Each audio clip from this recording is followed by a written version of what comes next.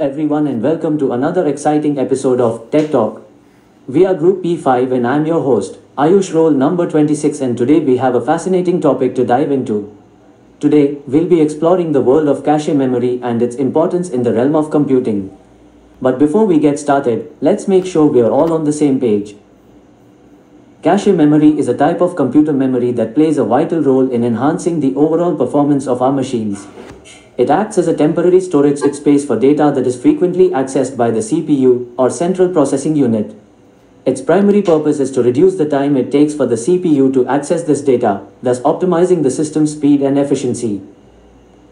Now, let's delve deeper into the specifics. Cache memory can be categorized into two types, level 1, L1 cache and level 2, L2, L2 cache. Let's start with L1 cache. L1 cache, often referred to as primary cache, is built directly into the CPU. This placement allows for lightning fast access to frequently used data. It's like having a small but incredibly swift storage space right next to the processor, ready to serve up information at a moment's notice. Moving on to L2 cache, also known as secondary cache. While not as fast as L1 cache, it still provides a substantial performance boost. L2 cache is located on the motherboard, separate from the CPU. Although it may take a bit longer to retrieve data from L2 cache compared to L1 cache, it is still significantly faster than accessing data from main memory. By having multiple levels of cache memory, computer systems can take advantage of the speed benefits offered by each level. The CPU first, check, first checks the L1 cache for data it needs.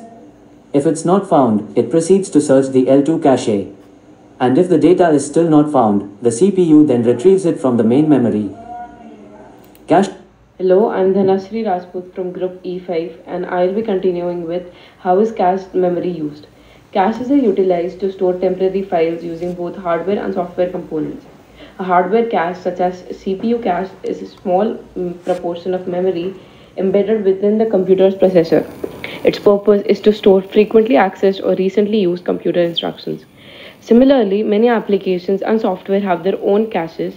These caches serve as temporary storage for application specific data, files, or instructions, allowing for quicker retrieval when needed. For instance, web browsers employ their own cache to store information from previous browsing sessions. This enables loading of web content as the browser can retrieve data from cache rather than downloading it again. This is particularly beneficial while rewatching a video from platforms like YouTube. Various other software systems also incorporate caching mechanism. Operating systems use caches to store commonly accessed instructions and files, optimizing their performance. Content delivery networks use utilize caches on the server side to deliver websites more swiftly. Domain name systems use caches to store information used in converting domain names to IP addresses. Additionally, databases employ caches to store to reduce latency in query processing. In summary, caches are used to store temporary files through a combination of hardware and software. They enhance systems performance by storing access data, instructions, or files, allowing for faster retrieval and reducing the need for repeated resource intensive operations. You know how is cache used as explained previously.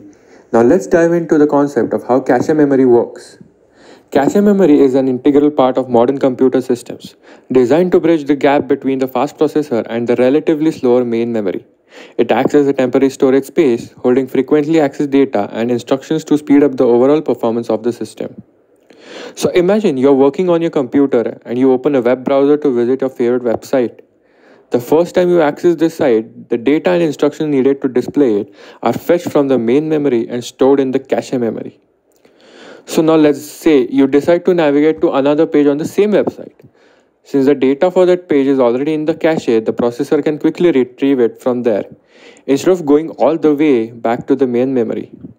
This reduces the latency and improves the overall system performance.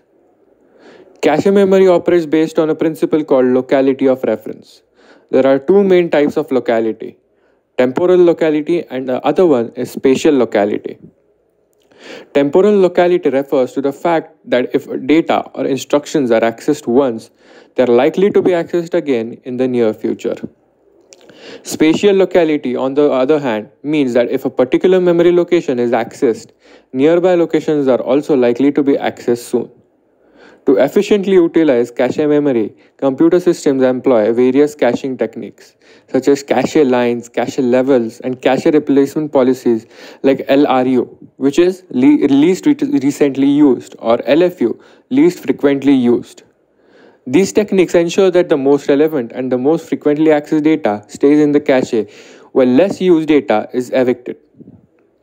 Now you might be wondering, how, how does the processor know if the data it needs is in the cache or not? When the processor needs data, it checks the mem cache memory first. If the data is found, it's called a cache hit and the process can access it quickly. However, if the data is not found in the cache, it's called a cache miss.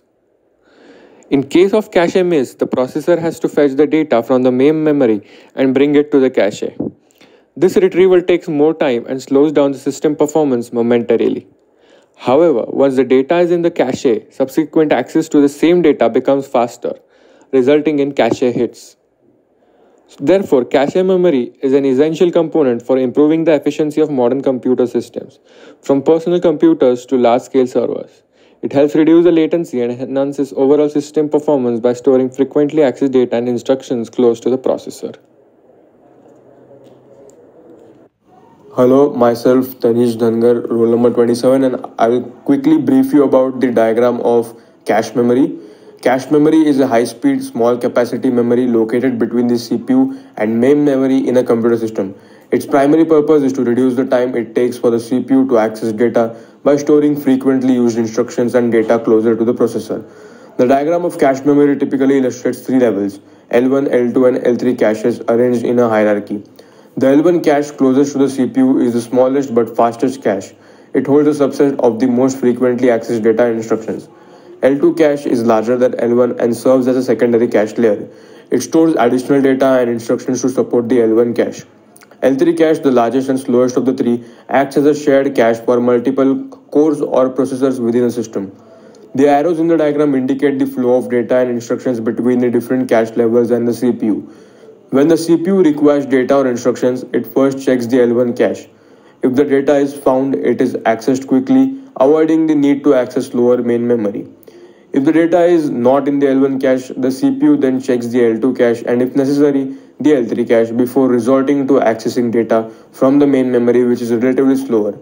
Overall, the cache memory diagram showcases the hierarchical structure of cache levels, demonstrating how they work together to optimize the CPU's data access and improve system performance. Thank you.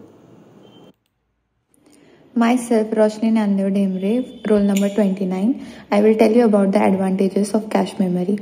So basically, cache memory has several advantages over main memory. First, it is much faster than main memory, which means that the CPU can access frequently used data more quickly. This can lead to significant improvements in system performance.